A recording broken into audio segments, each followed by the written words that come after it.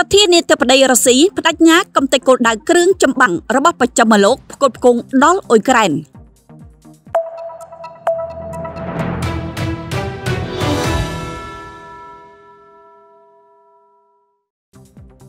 ស្របពេលបណ្ដាប្រទេសបច្ចឹមលោកកំពុងតែបង្កើននៃការផ្គត់ផ្គង់គ្រឿងចម្បាំងជួយដល់ប្រទេសអ៊ុយក្រែនដើម្បីយកមកទប់ទល់នឹងកម្លាំងទាហានរបស់រុស្ស៊ីនោះប្រធានាធិបតីលោកវ្លាឌីមៀពូទីនបានអះអាងថាប្រសិនបើក្រុងគៀវទទួលបានប្រព័ន្ធបាញ់គ្រាប់រ៉ុកែតរយៈចម្ងាយឆ្ងាយនោះក្រុងមូស្គូនឹងវាយប្រហារកំទេចទៅលើគោលដៅទាំងនោះសារព័ត៌មាន Al Jazeera បានចេញផ្សាយកាលពីថ្ងៃទី5ខែមិថុនាឆ្នាំ2022ថាប្រធានាធិបតីរុស្ស៊ីលោកពូទីនបានរិះគន់ដល់បណ្ដាប្រទេសលោកខាងលិចជំវិញការចែកចាយគ្រឿងសព្វាវុធទៅកាន់ប្រទេសអ៊ុយក្រែនដោយគាត់បានអះអាងថាបណ្ដាប្រទេសបច្ចឹមលោកមានគោលបំណងអូសបន្លាយចំនួននេះឲ្យកាន់តែយូរ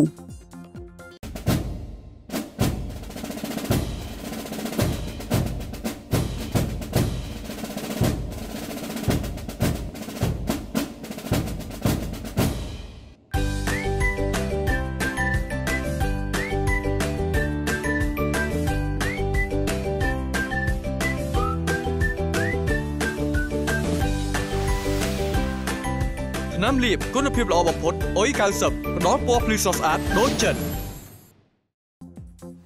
មេដឹកនាំរុស្ស៊ីរុកនេះបានបញ្ជាក់ថាការផ្គត់ផ្គង់គ្រឿងយុទ្ធឧបករណ៍របស់ប្រចាំលោកជួយដល់ប្រទេសអ៊ុយក្រែននាំឲ្យមានភាពច្របូកច្របល់ប៉ុន្តែបើតាមទស្សនៈរបស់ខ្ញុំមានគោលបំណងតែមួយគត់ចង់អូសទាញចំនួនប្រដាប់អាវុធនេះឲ្យកាន់តែយូរតាមដែលអាចធ្វើទៅបានប្រធានាធិបតីរុស្ស៊ីបានបញ្ជាក់ទៀតថាការផ្គត់ផ្គង់គ្រឿងចម្បាំងរបស់បណ្ដាប្រទេសប្រចាំលោកបែបនេះទំនងជាមិនអាចផ្លាស់ប្ដូរស្ថានភាពយោធាសម្រាប់រដ្ឋាភិបាលអ៊ុយក្រែនបានឡើយប៉ុន្តែប្រសិនបើក្រុងគៀវទទួលបានប្រព័ន្ធរ៉ុកែតបាញ់រយៈចម្ងាយឆ្ងាយពីបណ្ដាប្រទេសបច្ចឹមលោកនោះក្រុងមូស្គូនឹងសន្និដ្ឋានសមស្របហើយប្រើប្រាស់គ្រប់មធ្យោបាយរបស់ខ្លួនដើម្បីបំផ្លិចបំផ្លាញទៅលើគោលដៅគ្រឿងសព្វាវុធទាំងនោះ។